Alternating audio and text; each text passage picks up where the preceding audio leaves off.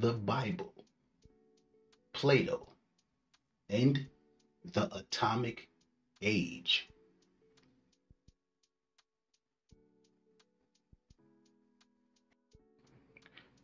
Universal Center for Renovation presents historical and biblical Israelites. This video is strictly for educational purposes and commentary. And this video is of biblical and secular historical literature, so enjoy.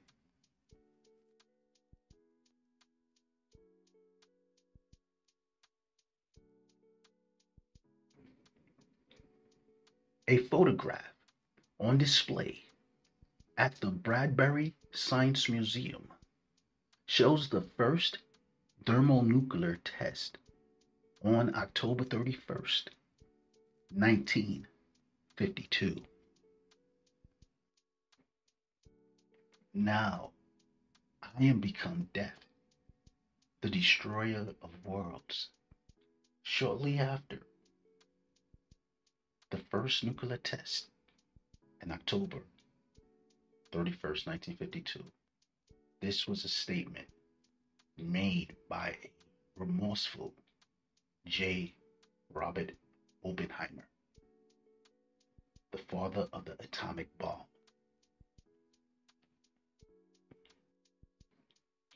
See, it is I who created the blacksmith who fans the coals into flame and forges a weapon fit for its work.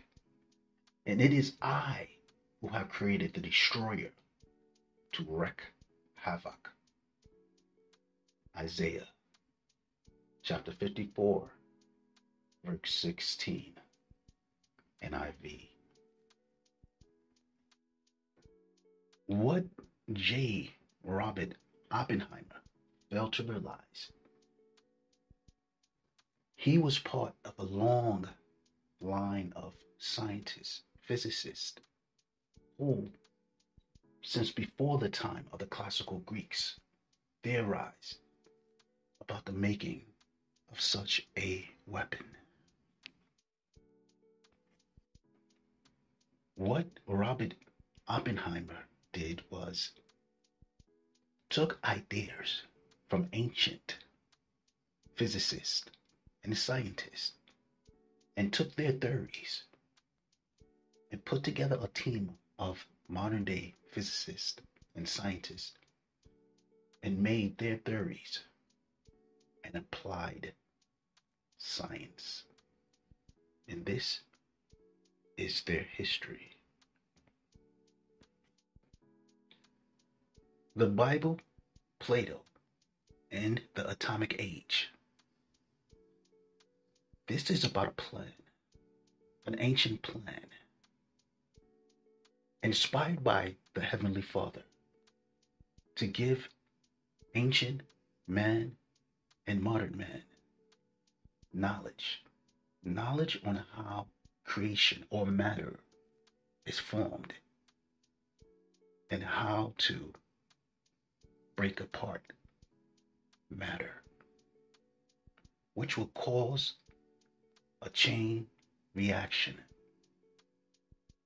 that would release energy, unlimited energy, that can either destroy men or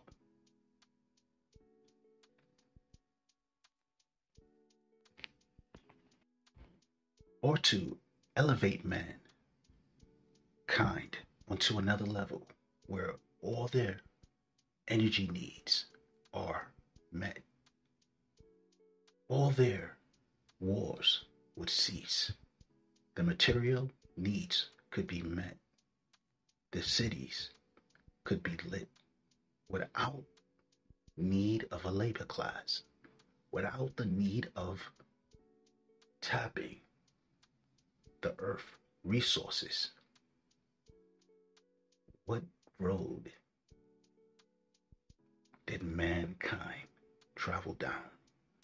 The road to hell or the road to destroy. The Bible, Plato, and the atomic age. In our last video, we learned from the complete works of Josephus, a first century Israelite historian. We recall Josephus' statement of the first man, Adams, his prediction that the world will be destroyed twice, once by water, which happened, Noah's flood, and the second time there will be another cataclysmic event by force of fire. So obviously, this was part of the plans of the Heavenly Father, the God of Abraham, Isaac, and Jacob from the beginning, because he allowed Abraham to foretell of this event so his children, Adam's children, would know their fate thousands of years ahead of time. In our days, this event seems possible because we live in the atomic age, an age of weapons, of fire that can lay waste continents and cities.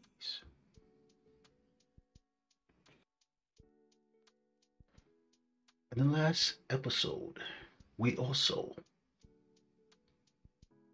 read the opinions of an insider, Fletcher Prouty, and his interesting book, The Secret Team, that reveals the war planning of government on the highest level and their views and vision of the future.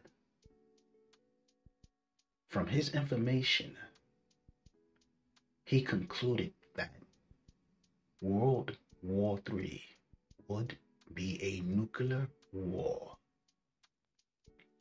But there was a plan for post nuclear war global society. And in such a plan, the war planners came to the conclusion that there must be safe pockets or areas that would not be devastated in World War III. Green zones, areas where mankind can rebuild after certain parts of the world would be devastated by atomic warfare, fire. Also, in the last episode, we learned from Fletcher Prouty's book, The Secret Team, that there exists a group known to him as the Power Elite. And they were concerned with rebuilding a devastated world because this group called in his book a network that is ancient and worldwide.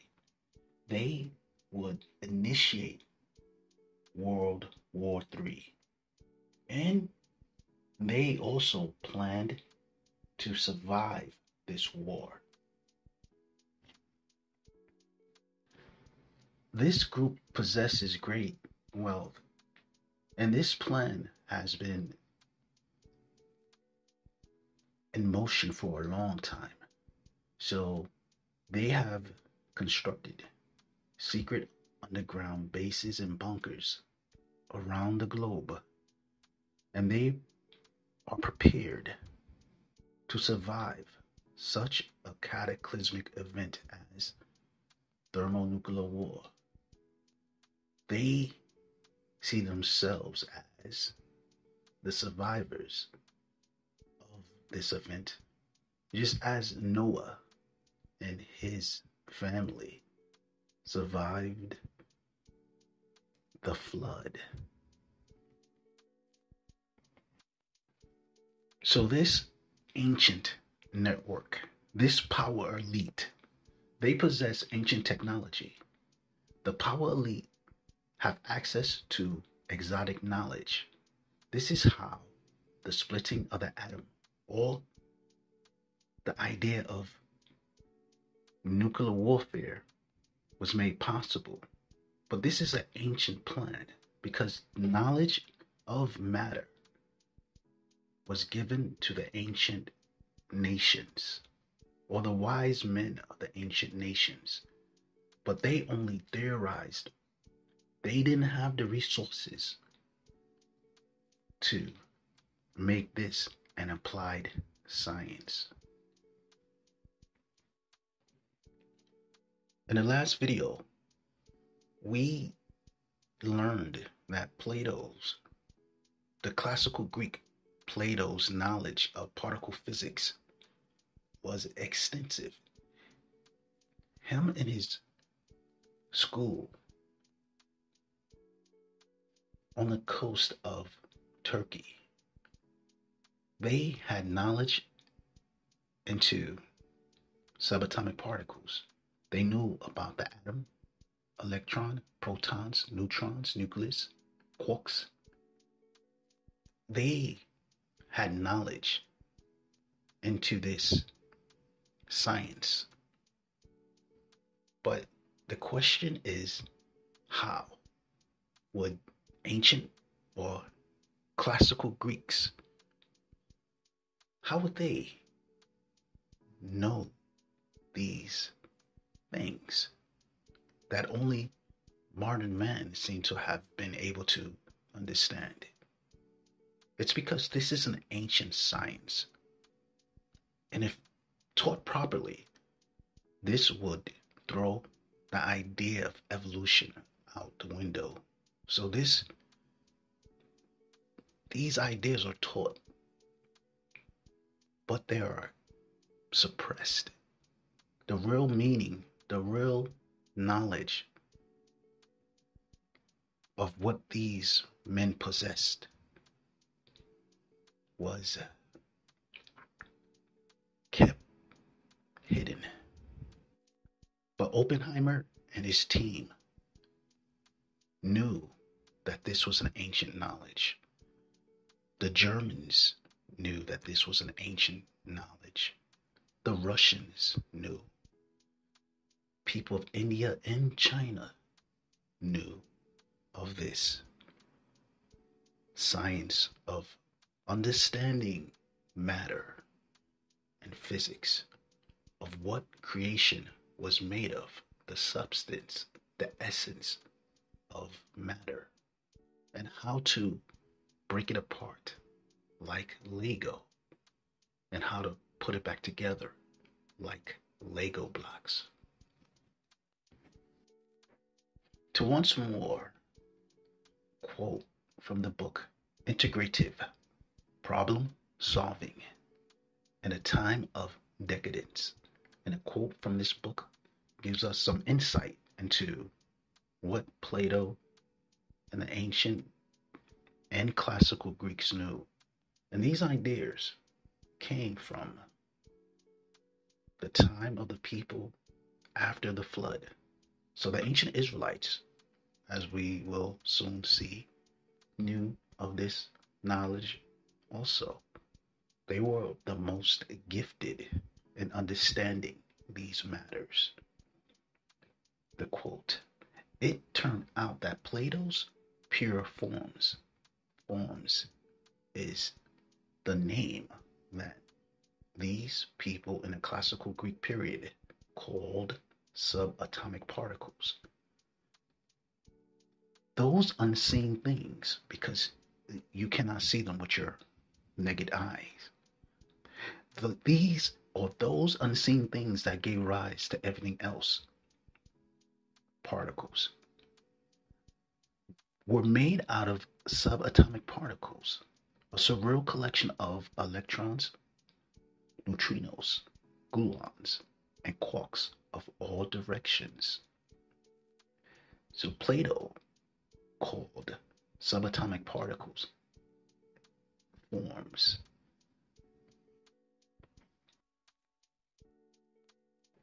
And as we soon shall see, Hebrews was regarded as the people of Plato's origin and of many of the so called Greeks of his school. And the knowledge of forms was from the Hebrews, as we shall soon find out. That's why the Bible is so important in this subject matter. In the Bible, or the collection of books of the Hebrew, right from the beginning, deep physics, particle physics, construction of matter is taught to the Hebrew reader. But in this, in this case, we're learning from English. Blue Letter Bible, the creation, Genesis chapter 1, verse 1. In the beginning, God created the heaven and the earth. Verse 2. And the earth was without form. This word form in the Hebrew is where Plato received his theory of forms or the idea of the subatomic particle world where matter or where all matter is created or molded from. Without form, in the modern Hebrew of Ben Yehuda that was invented in the modern times and is the spoken language of the state of Israel today. The word is pronounced tahu form. I won't get into this word yet and explain its significance, but that is coming up. But the word means forms, micro world, subatomic particles. This is in the book of Genesis, form, in the modern Hebrew of Ben Yehuda tohu? To grasp an understanding of what the ancient or classical Greeks called forms, what we know today as subatomic particles, let's look at the article Theory of Forms from Wikipedia. The theory of forms, theory of ideas, Platonic idealism or Platonic realism this is a philosophical theory of metaphysics developed by the classical Greek philosopher Plato. He got it from an older idea or source, but the theory suggests that the physical world is not as real or true as forms as particle physics. Absolute or these Particles are absolute and unchangeable, essence of all things. Forms, in his school, it was taught that forms are the essence of all things, or subatomic particles are the essence of all things. In other words, everything that we physically see are made of atoms. So these things that we actually see, whether it's a chair or a table or a book, they're actually made up of atoms. And this is what Plato called forms. And the Apostle Paul, in his letters, gave the churches that he established certain advice. Second Corinthians chapter 13, verse 1. This is the third time that I am visiting you. Every fact shall be sustained and confirmed by the testimony of two or three witnesses from the Amplified Bible. So it's necessary to provide some more facts to back up these statements that are being made. So, to keep this short and brief, we can quote two sources. The first source would be Plato's Philosophy of Science by Andrew Gregory. Concerning Plato's theory of forms and his insight or his school's insight into the world of forms or subatomic particles. I don't want to get sidetracked. I just want to get straight to the point. So I'm going to try to make this brief and simple. The significance of geometrical atomism. As the author quotes or writes, I shall finish this chapter with some more general comments on the historical significance of Plato's geometrical atomism, because this was a school the classical Greeks taught where they believed in the existence of atoms. I will agree with Vlastos or Gregory Vlastos. He was a philosopher, historian who really was into understanding Plato and Socrates. I would agree with Vlastos that one of the finest legacies left by the Greek atomist tradition or the Greek school of thought that taught about atoms. And I include Plato and some of the physiologoi. Physiologoi is a Greek word for physicist. These guys were the scientists in the classical Greek period, including Plato. And I include Plato and some of the physiologoi in this is the development of two level theories. The idea that there is a micro world beyond our perception.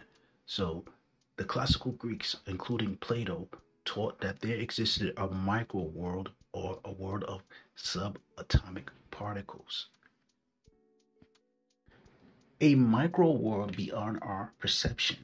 We cannot see atoms. We cannot with the naked eye, we cannot hear atoms. So there exists a micro world beyond our perception. The classical Greeks knew this information. This is because mankind had knowledge into the creation of the world we live in, the creation of matter. It's in the book of Genesis, but the ancient pagan nations, they also knew of this knowledge, as we shall see.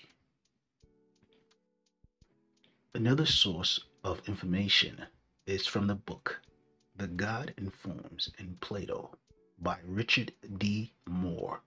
This gets more straight to the point. Plato's theory of soul, or his theory of subatomic particles. Subatomic particles are not direct objects of perception. We cannot see them with our eyes. So, Plato's theory of forms is actually his theory of subatomic particles, which you cannot see with the naked eyes. So, if we briefly explain that subatomic particles is what Plato and his school that was on the islands off of Turkey. Gonna go into that soon. Subatomic particles are what they called forms, or the micro world, or subatomic particles. Forms are a micro world. Also, known as subatomic particles, including the atom. And this forms, or that word form, or that idea form, is found in the book of Genesis, the first chapter, concerning the formation of matter. So the atom was known to the classical Greeks, to the ancient Hebrew Israelites, to the ancient Babylonians, Assyrians, Chinese, Indians.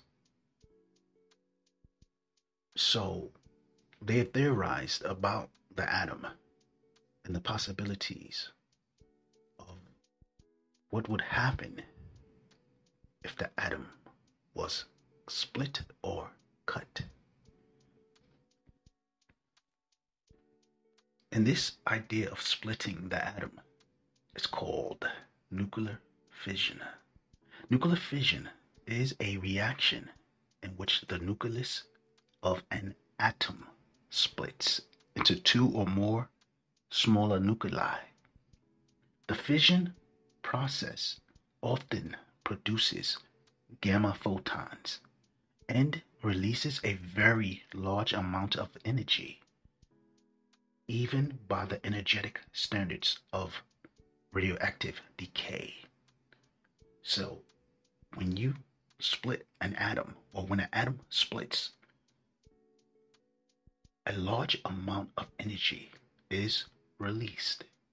And this is what these ancient and classical philosophers theorized about. But they did not have the resources to make this an applied science. It only was theory. Up until modern day times. Nuclear fission produces energy for nuclear power and drives the explosion of nuclear weapons. Both uses are possible because certain substances called nuclear fuels undergo fusion when struck by fission neutrons and in turn emits neutrons when they break apart. This make a self-sustaining nuclear chain reaction possible, releasing energy at a control rate in a nuclear reactor or at a very rapid, uncontrolled rate in a nuclear weapon. Utilizing the power of the atom has two sides. The first side, the positive side, unlimited energy. The negative side, nuclear weapons. The effect of the negative side of utilizing the atom was highlighted in the 2023 film Oppenheimer. The film Oppenheimer was an or a 2023 epic biographical thriller film about Robert or J. Robert Oppenheimer, the American theoretical physicist credited with being the father of the atomic bomb for his role in the Manhattan Project, the World War II undertaking that developed the first nuclear weapons. Oppenheimer has been called the father of the atomic bomb. In 1926, the 22 year old doctoral student J. Robert Oppenheimer grapples with anxiety and homesickness while studying experimental physics under Patrick Blackett, at the Cavendish Laboratory in the University of Cambridge. Upset with Blackett's attitude, Oppenheimer leaves him a poisoned apple, but later retrieves it. Visiting scientist Niels Bohr advises Oppenheimer to study theoretical physics at the University of Göttingen instead. The Germans were years ahead of the rest of the world when it came to physics, especially since the German Enlightenment, which were headed by people like Moses Mendelssohn, who brought Hebrew literature to the German intellectual community. Oppenheimer completes his PhD there and meets at Göttingen and meets fellow scientist Isidor Isaac Rabi. They later met theoretical physicist Werner Heisenberg in Switzerland. Wanting to expand quantum physics research in the United States, Oppenheimer begins teaching at the University of California, Berkeley, in the California Institute of Technology. In 1942, during World War II, U.S. Army Colonel Leslie Groves, director of the Manhattan Project, recruits Oppenheimer as director of the Los Alamos Laboratory, where the atomic bomb is to be developed. Oppenheimer fears the German nuclear research program, led by Heisenberg, might yield a fission bomb for the Nazis.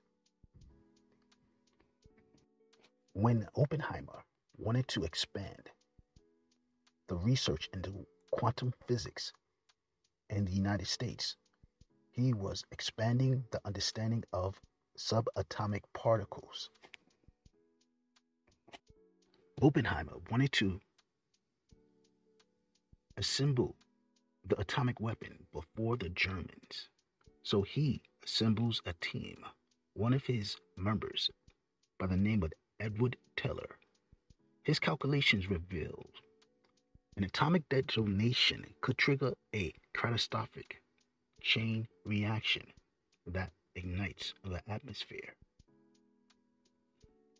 Later, President H.S. Truman, after the team assembles and construct the weapon successfully, President Harry S. Truman orders the atomic bombings of Hiroshima and Nagasaki in Japan, proving the complete prediction, the accuracy of Adam, the first man, the biblical Adam. Adam's prediction, the world destroyed by force of fire in the end of days.